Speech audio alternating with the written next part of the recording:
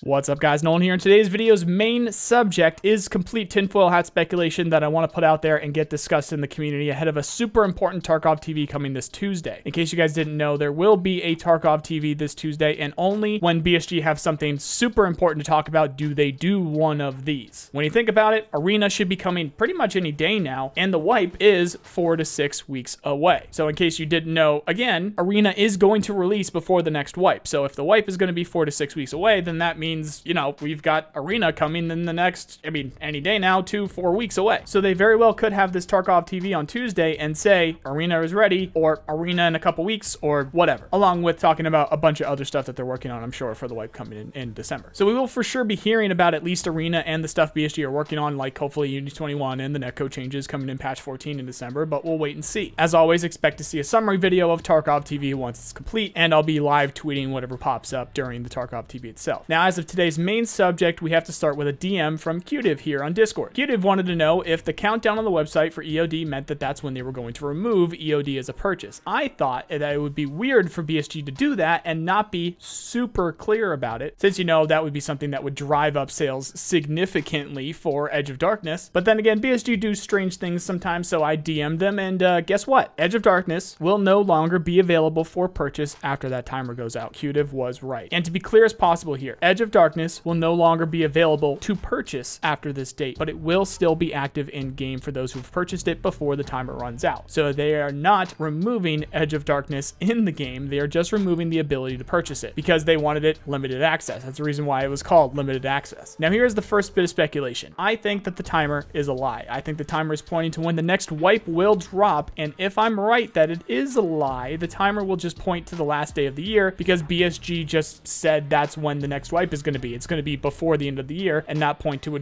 a singular day so that we are preparing for that day. And then if they end up delaying it, then nobody knows they end up delaying it. So what they'll do is they'll just change the timer to reflect the actual day that they're going to wipe the game once they actually announced when the wipe will be. Like they did last wipe and the wipe before. Actually, last wipe was the only wipe that they did the timer thing because that was when they were when they did the uh, the price increase for Edge of Darkness because it was going to include Arena. But there was still like 16 days or something like that left on the timer, and then they removed or they moved it to two days, the timer went out and then it, there wasn't a timer for like two days and then they ended up wiping the game. So yeah, the timer I'm thinking is a lie. Now here is the second bit of speculation, which makes a bit more sense, but definitely opens a rabbit hole here. So stick with me. If the timer is not a lie and it does actually cut off Edge of Darkness to purchase on the last day of this year, then I think that this may be the most important single piece of news that we've ever gotten because again, if that timer is true and if they do remove Edge of Darkness before 2024, then I think that means BSG are going to release the game next year. Full release. Now stick with me here. The Edge of Darkness edition of the game has always been marked as limited access, with the limit just being that you wouldn't be able to purchase it after full release. So BSG have always said they will remove it before full release. For the last several months now, BSG have been using the release word in practically every major discussion that they've had while cutting maps and features for quote unquote time, leading me to be speculating for at least the last several months now that I bet that there was a whiteboard somewhere in the BSG BSG Studio that had a big circle around 2024 or just release before 2025. Anybody that's caught my recent streams will know that we've talked about this several times. I think I brought it up a couple times during our Good Morning Tarkov sessions that we were doing a couple weeks ago. I don't think I made it a subject of a major video because I wanted something a bit more solid to happen first, and this was that thing that happened a bit more solid for me to want to make it a subject of a main video, so here we are. Now, whether or not they will complete this on their schedule is still in question, for sure, but here's the deal. Since BSG are removing EOD next month, I think it's because they at least